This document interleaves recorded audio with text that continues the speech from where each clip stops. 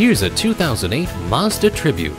Standard amenities include privacy glass, power windows, locks and mirrors, tilt steering, and a CD player.